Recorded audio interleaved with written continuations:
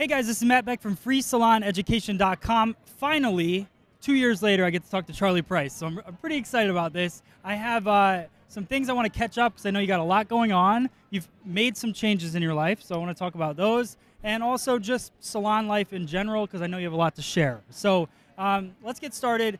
Charlie Price, I don't really even think we need to talk too much about your past. I think everybody knows where they know you from, but if you want to get into that a bit, My prison past yes. or my or my hairdressing past. yeah, your prison pass.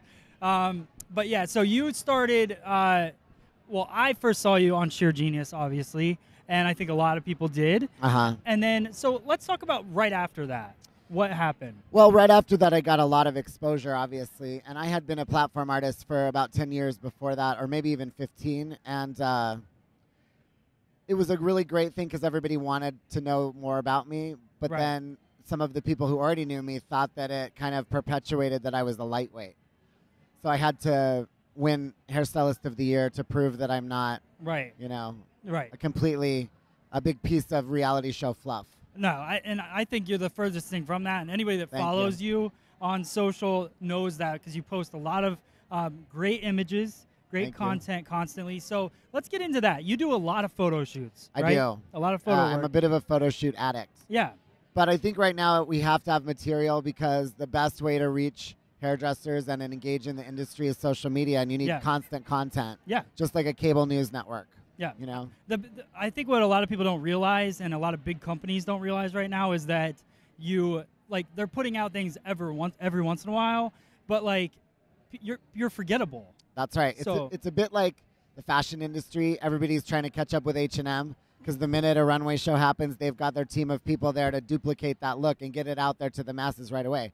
That's what we're dealing with in the salon industry, Right. or like Napster. Yeah, exactly. So let's speaking of fashion, let's talk about Fashion Week. You do that quite often, right? Yeah, we do Fashion Week, and I know there's a lot of companies that do uh, New York Fashion Week and others, um, the European shows. But what we do is we bring everybody together um, before and we practice the look on mannequins, and everybody meets the team, knows each other, networks with people from around the country, around the world, whatever, whoever comes in, and we actually let people finish the look. So.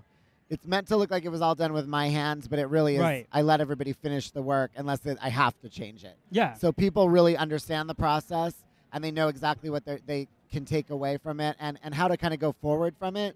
Because I did runway shows for like uh, 15 years and, and it's it's a very confusing, um, nebulous world. It's So the I worst. I, I did Yeah. I did Fashion Week twice, and it's the most confusing. Like hair Exactly. shows are kind of confusing backstage, but but Fashion Week is like you don't really know what you're doing. So that's really cool that you guys get together and you plan it all out.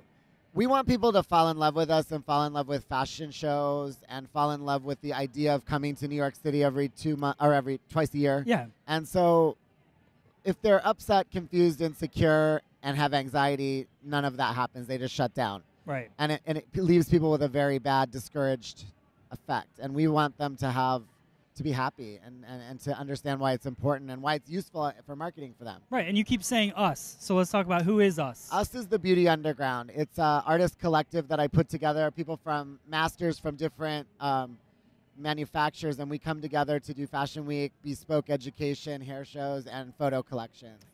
Um, and it's kind of an offspring of my um, magazine, Beauty uh, Underground, which is really just a forum for people to show their work without ads, without censorship, and just total freedom to express themselves. So we have like Ruth Roach, the artistic director of Pureology, Jill Lights from Redken, Lisa Van from um, Aveda, and, and many, many others. Katie Nielsen from Scruples, and then um, my Fashion Week team, Nikisa and Sharina, that I've worked with for years. And then uh, we just have our Ebony team here. okay. Shirley Gordon from Wella, Misha Bell for Care Therapy. Um, it's just a whole, it's a gang of hairdressers. That's awesome. And so tell me how that started. What, where was your purpose behind Well, we, we have the Ebony team, which is the newest incarnation. We started with a women's team because I, I was talking to all my really good girlfriends, and I was like, you know, it's so weird that there's like a glass ceiling for gays, and, and the women in the industry get kind of lost. They're not given maybe the quite the degree of reverence or, Yeah. that I think they should have.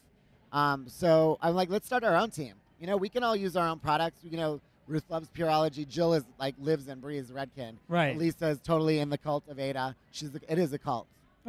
Dangerous. Um, but uh, anyway, um, so we're having so much fun, and we're also able to kind of just reach hairdressers without trying to sell them anything. Right. It takes away that agenda, and we can just have jam sessions together, but also really teach hairdressers how they're responsible for their own careers. You know, everybody relies on their salon owner or the person they're assisting or their manufacturer to do it all for them. Really, we're not anti-manufacturer at all. Right, We yeah. are trying to just empower hairdressers to realize they're responsible for their own thing. So in the essence of it, we're really pro-manufacturer because we're helping them out, Right. coaching their people to be like, it's not their, it's not their responsibility to make it happen for you. You have Yeah. to make it happen for yourself. Yeah, I think a lot of people get confused that it's like a damn the man situation. No. It's really it's not it's that's not what it is. It's about not relying on a product company to support your career. No, your career you is yours. We we love all these products. Yeah. I, I worked with Aveda years ago. I still love their products, and I and I have all my friends from there. I, I worked with Redken. They host us for Fashion Week. Arrojo just hosted this for fashion. I'm not anti-manufacturer. Right. I'm anti-dogma, and I'm anti-complacency, and I'm anti-apathy. Right. And what I think happens, and it's and it's a problem for manufacturers, is you get a tribe of people, and they just feel like they can just kind of coast yeah. and so you get uh, you get sort of this like river of mediocrity, and we're trying to kind of pierce through that. Yeah. That's awesome.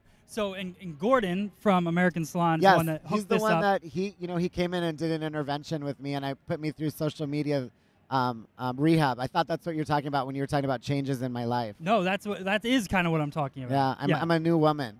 You're a new woman. Yeah, well, I'm half woman. Okay. I don't know. it's all the rage, you know. I have no idea.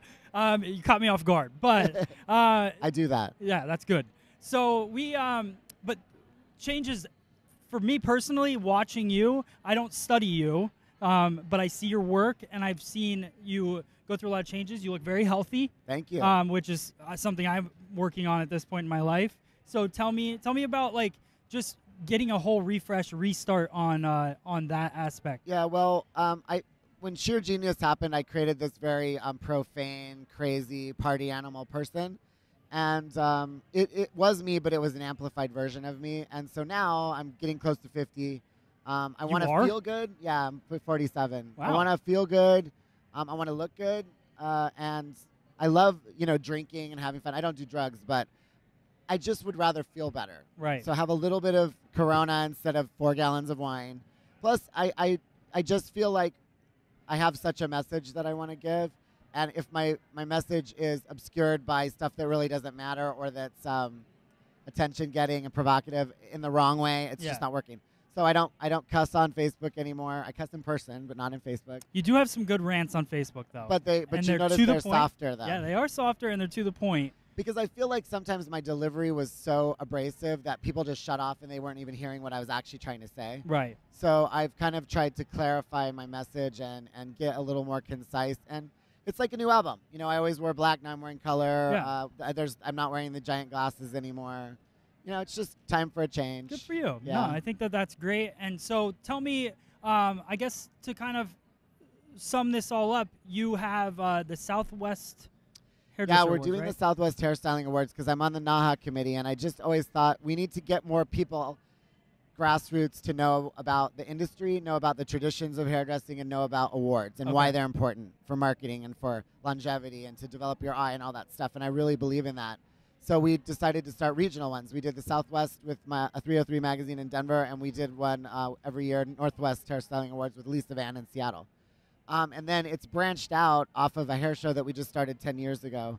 Um, so we have Ted Gibson coming to get um, Celebrity of the Year, or Celebrity Hairstylist of the Year award. Tabatha Coffey is getting Lifetime Achievement.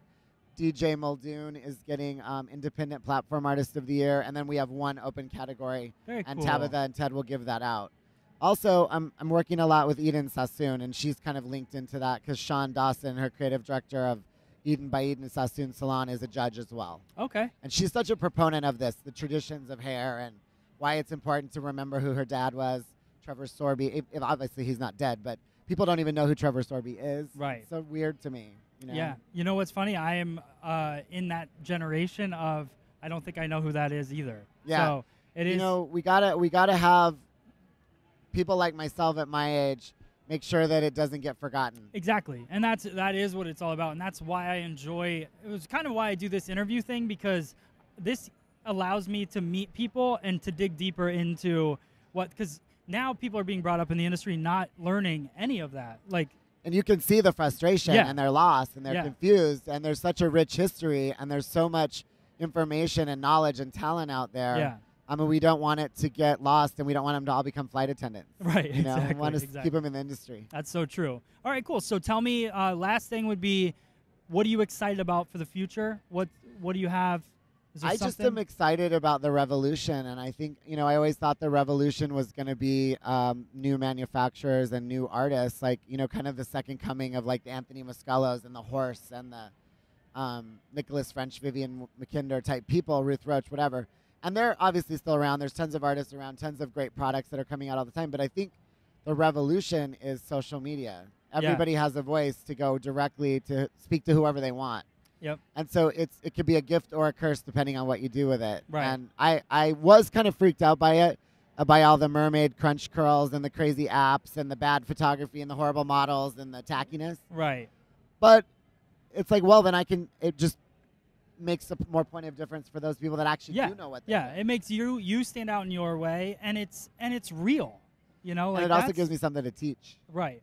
Let's Yeah. let's let's consider something else. You know, because Yeah. Everybody's doing the same thing. Yeah, And if everybody's doing the same thing, nobody gets noticed. It's like lemmings going Yeah. off the cliff together. We so don't- true. Don't be a lemming. Well, there you go. Thank you so much Yeah. for sitting down. I know it's uh, I, I've been hoping for this interview for a while. Thank you to American Salon Magazine, uh, my favorite magazine in the industry. It's the reason that we're here, um, and that I get to talk to people like Charlie Price. So Thank you. thank you so See you much. later. Yeah, Cheers. thank you guys. We'll see you on the next video.